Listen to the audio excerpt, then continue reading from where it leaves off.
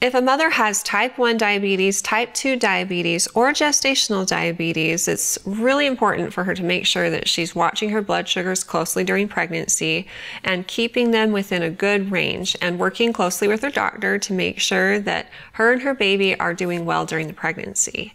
After the baby's born, a baby is at greater risk for having complications if they're born to a mother with diabetes. Even if the blood sugars were well controlled, there may be complications.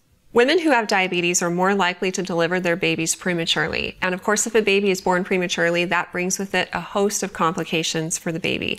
But even if a baby is born full term, they're still at greater risk for having issues with breathing, having jaundice, and also having blood sugar control problems of their own.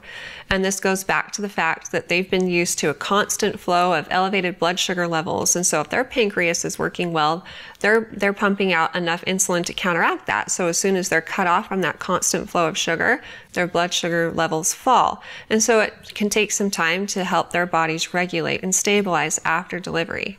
There are other complications that are possible as well. So ultimately, I suggest talking with your OB provider if you have diabetes. And based on their knowledge of your circumstances and what your hemoglobin A1C levels have been doing, your blood sugars have been doing, they'll be able to give you tailored information and advice about what you can likely expect after delivery. Good luck with everything, and if you have more questions in the future for me, feel free to ask them on our Facebook page at facebook.com forward slash Intermountain Moms and recommend us to your friends and family too.